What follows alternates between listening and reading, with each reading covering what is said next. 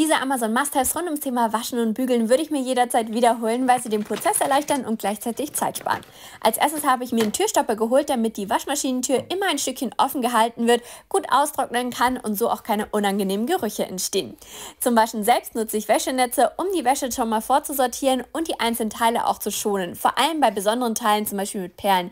So kann sich nichts darin verhaken und die Teile gehen nicht so schnell kaputt.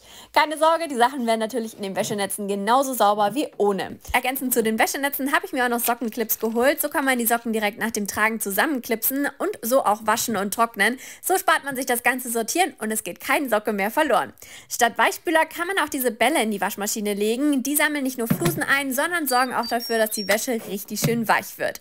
Und dann kommt eines meiner absoluten Lieblingsgadgets. Statt jedes Teil einzeln aus der Waschmaschine zu holen, kann man diesen faltbaren Wäschekorb einfach in die Waschmaschine reinlegen, einmal die Trommel drehen und schon ist alles in dem Ding gesammelt und man kann es direkt so zum Aufhängen mitnehmen.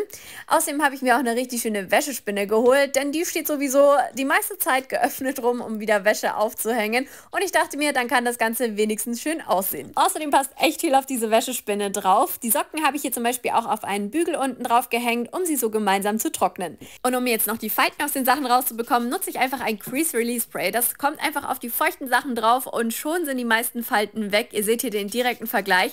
Bei manchen Kleidungsstücken muss man dann tatsächlich gar nichts mehr machen.